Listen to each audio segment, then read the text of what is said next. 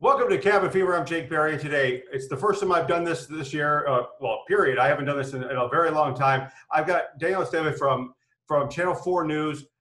He's he's come on. He's been gracious enough. We're going to talk sports, where he's from, basically everything. Uh, Daniel, welcome to the show. Hey, thanks for having me, Jake. I'm looking forward to it. You know, you're you're a Valley native. A lot of people think when you know you get news people that come in that they're going to be from out of town, but you're you're home you're homegrown. Yeah, I kind of throw people for a loop. I don't I don't really fit the valley mold. I don't look like I'm from the valley. So so just to clear the air, my dad is from the valley. He grew up in Matamoros slash Brownsville, and my mom's from Columbus, Ohio. So that's where the the height and the fair skin comes from. Um, so that that kind of throws people for a loop. But I was born and raised in Brownsville. Grew up my entire life in Brownsville up until I went to college, and, and just got lucky enough to come right back after school. So so it's been great. The valley's been home for a long time. And you went to school at, at, one of the powerhouses for journalism, which was Missouri. Uh, you know, um, that had to be a trip to go all the way up there. Oh, absolutely. And I knew I wanted some kind of a different experience. Um, I had looked at schools here in state, but but given that my mom was from Ohio, I was actually looking at Ohio University, despite the fact that I actually grew up an Ohio State fan. Um, so Ohio University in Athens was a great journalism program that I actually visited.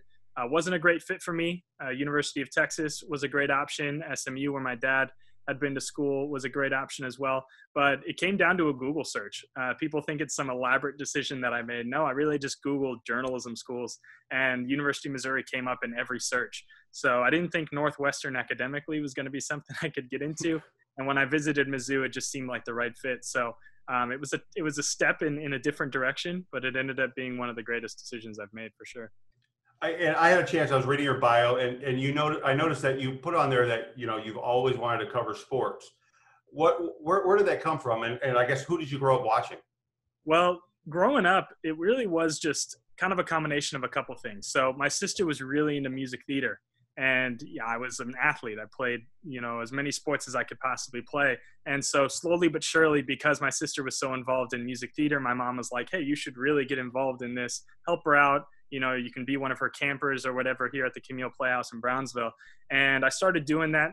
Uh, realized that I was loud, I love to talk, and I was comfortable in front of people. So, what was my best way to combine these two? And at that time, I was thinking that weather would have been something I would have loved to have done because I could just talk and just be comfortable, be a storm chaser, do all the cool things you see on TV.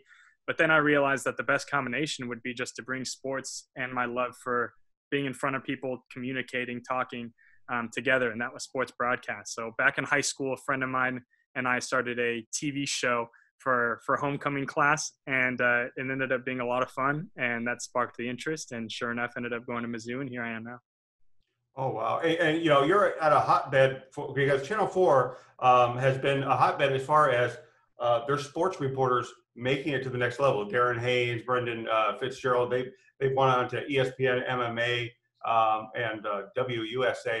What what are, what are your plans for the future?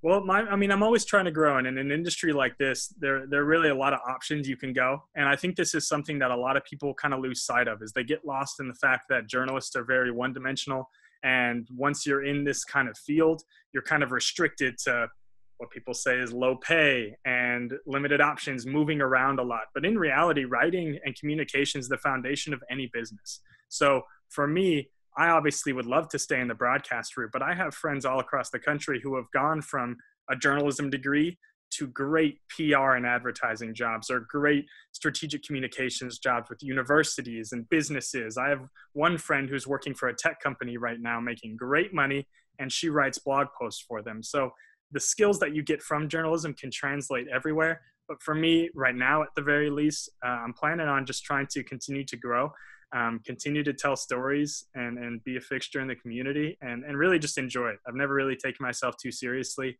So right now I'm having a great time. We're just doing our merger with uh, Channel 23. So we are now one KVEO family. And that's been a huge blessing. We're getting a lot more resources with our new ownership group. And, and there's a lot coming out of Channel 4 and Channel 23 right now that's great. So right now I'm really focused on this and, and focused on my, my hometown. But, uh, but who knows what's next? But I'm hoping it's going to be in TV somewhere somewhere bigger, somewhere you know where I can continue to grow. And nobody was expecting what what COVID has done to us. Um, how has it changed the sports landscape for you guys? Because you guys have to find stories, but you can't really go out like you normally do and, and meet with coaches and players. Yeah, there's there's no way to to prepare for anything like this, but I think it's important that when something does happen like this, you do reflect first. You don't jump into any one particular thing, and you understand what kind of resources do you do have available. And so, fortunately for us, we do have things like Zoom.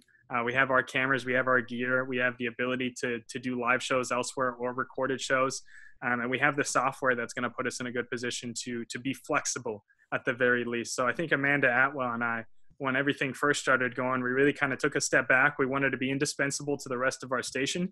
So we wanted to make ourselves available for news. We did a lot of producing and even more web content. But when it came down to, hey, there were whispers, there were things still happening in sports. We had a couple hirings in Donna.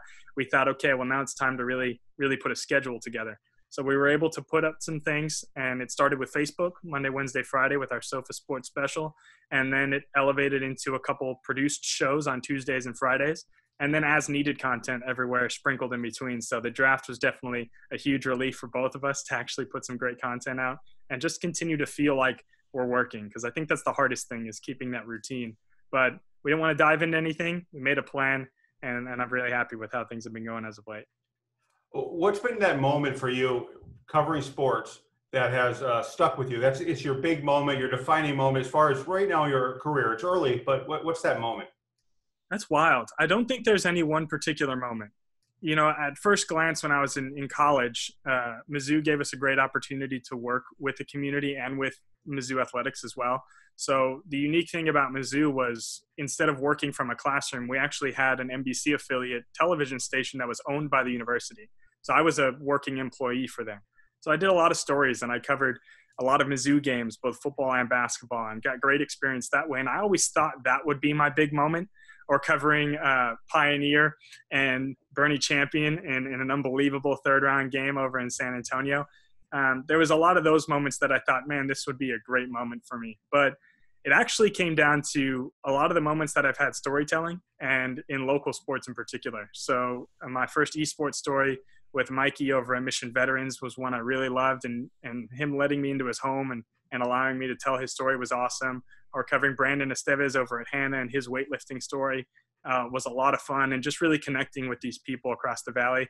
Um, that's when that's when those moments really kind of hit home in terms of this is why I really enjoy doing these things is meeting these people and athlete of the week series where I get to compete against athletes has been goofy and and really allows me to just have a good time with these athletes. That's been a huge blessing as well. So it's really those intimate moments with the people I'm covering and the people whose stories I'm sharing that have been have been the best part about doing this job. Now I remember a live show, and the reason I'm, I'm bringing this story up is my boss, the superintendent from McAllen. We were watching you, and I can't remember who you were throwing to, but it was uh you were on our stadium there in McAllen Memorial, um, McAllen Veterans Memorial Stadium, and a lot of I'm just going to point this out because I was in an old um, uh, QB challenge for the media, and I was kind of probably the only one that knew how to throw a football. And no, no offense to the other guys that that were in the competition, but you were whipping the ball before before one of your live shots. You were whipping it probably about 45, 50 yards to. I'm not sure who it was. It, I think it was one of the anchors. I'm, I'm not sure if it was an anchor or not. Chris Jacobs, CBS four anchor. Yeah, it was before yeah. one of our CBS four on the road shows. We always brought a football. I think week two we started doing that because I I don't want to just sit there and wait for live shots. So we started. I, I brought a football out uh, that we found in the sports office, and we just whip it around before before uh, I guess our game time. And uh, you've got chops. You've got chops. You can whip that ball. I appreciate that. I appreciate that. I'm looking forward to whatever media challenge we can get. But but it's interesting because when I again going back to my time at Mizzou, I always I always had this this picture in my head. I don't know if it was ESPN related or seeing a lot of these ex athletes become reporters, but I was always under the impression that all these reporters were athletes, and, and that's why they were able to talk about these things. But I came to realize I was maybe one of three athletes in my class of the 25 kids that ended up graduating in the sports broadcast program my year that actually played sports. And uh, at first, I thought it was an advantage for me. I don't think that's the case. I think it always comes down to hard work, your dedication to the craft, and really just investing in the sport or investing in, in your craft in journalism as a whole. But um, I've definitely fallen back on on the fact that I do love my experiences with sports. I think it gives me a unique perspective, at least with the athletes that are playing now. But most of them don't believe it. Like they'll see me throw a football or dribble a basketball, and they'll be like, "Oh, didn't expect that." Um, which is interesting because uh, you know growing up, I always had this picture that these these journalists were athletes. So I guess that's not the not the case with most of these high school athletes, but but no, I, I definitely love my sports background and I wouldn't trade it for anything. So so next time you got to join in and throw the football with us. Yeah, well, I'm old, so my bones will break. But uh, you know, I wanted to ask you this: What's your favorite sport? Because you know, you cover all the sports, and we're going to get to esports too. So if it's esports, I understand too, because I'm a big esports guy. What, what's your favorite sport? Well, that's a, that's an interesting question. There's two different uh, two different questions there. So there's my favorite sport to play, and there's my favorite sport to cover. Because surprisingly enough, they actually are different. Um, I grew up playing baseball, basketball, football, and I pretended to play golf um, because nobody really plays golf, and the people that do are just crazy. Um, but basketball was always my favorite sport. It was the one that you know I put the most time into, and the one that um, I just enjoy playing the most, and probably the one I play the most today, aside from again pretending to play golf. But in terms of coverage, um, I mean, there's there's nothing quite like covering high school football here in the Valley, and then I've also grown to love soccer quite a bit. Um, I actually again through the University of Missouri got the opportunity to work out in London for four months, and I was working for a television station there, and and that's where I kind of started to follow um, the Premier League quite a bit, and I became a huge Tottenham Hotspur fan. Just so unfortunate because they're the Dallas Cowboys of the Premier League. Just get your hopes up only to crush them, uh, which t- seems to be a trend with all my sports fandom. But but soccer's been huge, and fortunately for me, we have some of the best soccer in the state here in the valley. So soccer's been a lot of fun to cover, and I was I was pretty heartbroken getting right into playoffs and seeing most most of these uh, these leagues get canceled. So that was a bummer for me. So sports um, to cover, definitely all of them, but soccer has definitely jumped up front, right, right up there with with football, and uh, and then to play definitely basketball. But esports, great point. Something that I've gotten to do quite a bit. Um, something that I'm, I love doing and during quarantine, what better time to talk about playing video games for hours on end for sure. Yeah, and, and you know it's interesting because you're like the one person I've seen openly go out and find these esports stories because a lot of people they're still hesitant to touch them, but you have embraced it. You've you've wanted to cover them, and I think that's the coolest thing. Yeah, yeah, we're all products of our experience. Um, you know, I'm not gonna, I'm not gonna, you know, you keep saying that you're old. Um, I'm not gonna share my age or anything like that. I have to put on this mature persona, but uh, I still play a ton of video games with my friends, and uh, I've grew up playing a lot of video games. Um, and then we're all products of our experience, like I said. So again, going back to my college years, uh, not even the University of Missouri, but Columbia College, which was a school about two miles down, was actually one of the pioneering universities in esports in the entire country and they have one of the top esports programs to this day. I believe their League of Legends team is one of the top in the country. Mizzou ended up getting an esports team and became Rocket League national champions two years ago when they first started the program. So I was actually surrounded by the growth of esports um, back in back in college. So I guess I just showed my age there. But um, but when it comes down to esports, we actually had a lot of students and a lot of people who were invested in these programs and who did stories like this. So my first story with uh, with esports down here in the valley with Mikey at Mission Vets, um, it was actually driven through a connection I had with a friend who was a professional Street Fighter player here in the valley. It was actually an old trainer of mine. His brother was the professional Street Fighter trainer.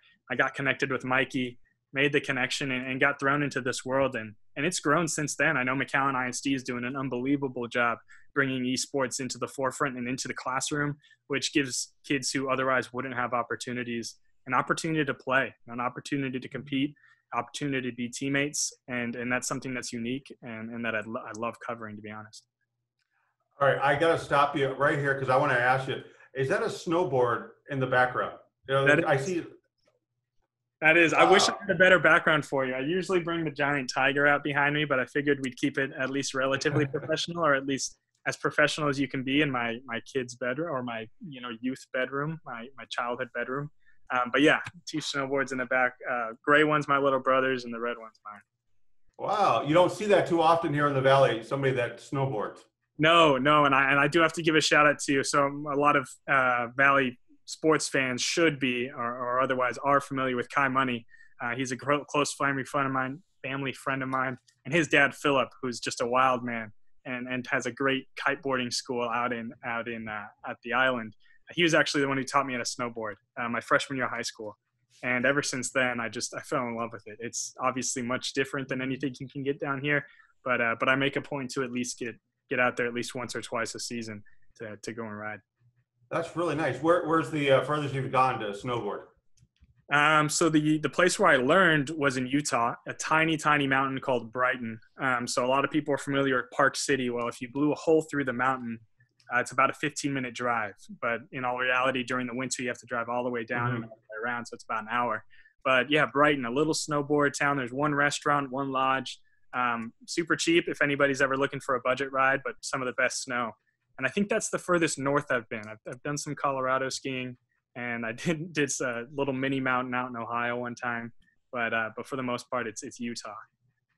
Oh, it's very cool. It, it, all right, so I want to ask you this: What, who is the one athlete that you've been able to interview that was that was that was it? Professional. Let's we'll go professional so we don't go anybody local and offend anybody. I haven't done a lot of big time named interviews. I think from a professional standpoint, Mark Brunell I interviewed. Really? Actually in London. He was doing a Jaguars camp because of the Jaguars initiative with London Sports. And so they were like, all right, who are we sending? And they were like, let's pick the American because he's the only one who knows anything about it. So we get out there and Mark Brunell's there uh, coaching, got to interview him. And, and one of my very, very last questions was, what's your favorite memory playing against the Cowboys naturally? And he said, uh, coming into the second half and roasting them down 14 to come and beat them. And I actually remembered that game, which was just disheartening, but we had a good laugh about it. And so I think from a from an interview perspective, off the top of my head, he comes up first. But I have to imagine there was at least one other when I was at Mizzou, but nothing's actually coming to mind. So we'll stick with Mark Brunell for that. I'll let you know if anything else comes to mind. Though. All right, and, and you know, a lot of uh, people going, you know, coming into the into sports thinks think that they have to have a catchphrase, kind of like Stuart Scott or like that. Did you come up with your own catchphrase when you were trying trying to uh, come up with your own identity? Um, not exactly. I think you know a lot of people pull things again from people they watch, and Tony Reali is one of my all-time favorite broadcasters. Uh, from strictly a broadcast perspective, from a storytelling perspective, I love the way Marty Smith tells stories. He's just unapologetically him, and really gets to the human element. Um, but from strictly a broadcasting standpoint, Tony Reali has always been the foundation of of who I've wanted to to model my my craft after um, or at least build my own craft based off of his work. And so you can draw direct parallels to the fact that he throws a paper after every around the horn. Um, I actually started doing that in high school, uh, just as a nod to Tony Reali. And so it was kind of a natural instinct uh, at Channel 4 that I was doing a baseball story and I had crumbled the paper. And at the time, I think I was saying I'm out of paper out of time. That got a bit repetitive. I found myself turning to that and not being able to say anything else. So I've drawn away from that, but it was always natural for me to get it and throw it.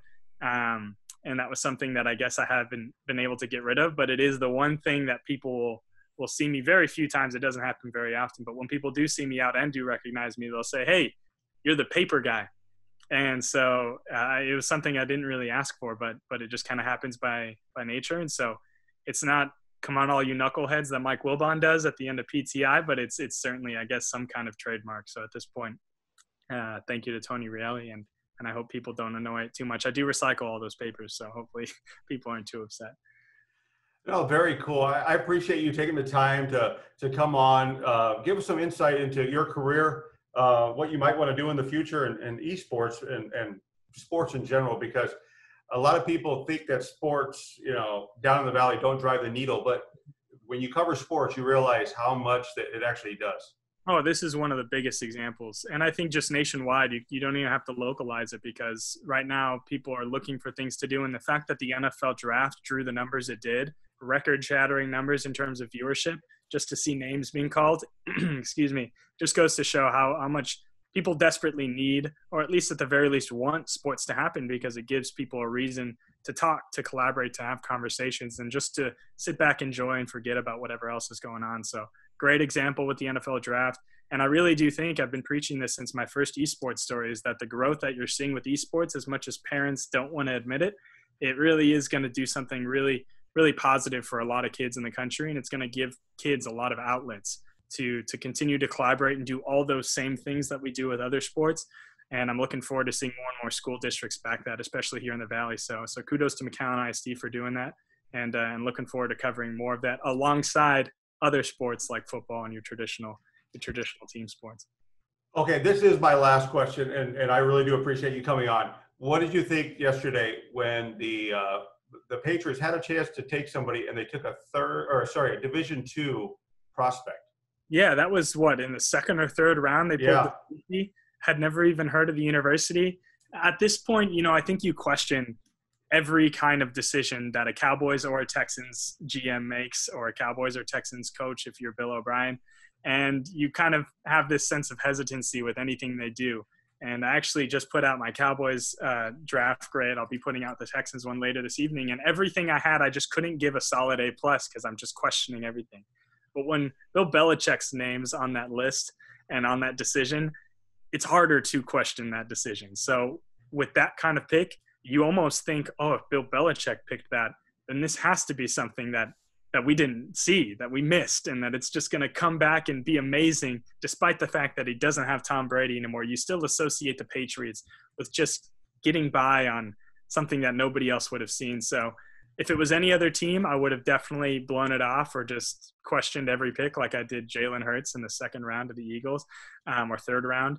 And but with Bill Belichick and the Patriots, I'm I'm genuinely nervous to see how this turns out for them because, I mean, who was it that the the Bears drafted a Division two Another tight end in the second round? end. Yeah, they have like 11 tight ends on, on their Yeah, there's roster. like 11 now. Like that guy, a lot of people were like, "Oh, he's got the physical attributes, and he, and he can do these type of things on the field against any kind of competition." Despite the fact that he was playing against scrubs, relatively Mhm. speaking, yeah. the Patriots Uh, make a decision, and everyone's like, "This guy's got the hidden talent, and, and there's a possibility he becomes a real player." So you just don't know. But but with Bill Belichick, you really don't know. Well, we'll be waiting for those uh, for that uh, that grading uh, of the the Cowboys is, is coming yeah, out today. Yeah, so the Cowboys is up right now in Valley Central, and uh, and Houston's to come. I already have Houston's uh, individual analysis on each player, and they only had five picks, so do what you can with that. And uh, and their overall draft grade will be coming with uh, with Bill Bryan, Bill O'Brien on the hot seat. So plenty of content. Okay, I, I can't stop this interview without asking you what was your grade on their free agency with what they did with uh, the trades.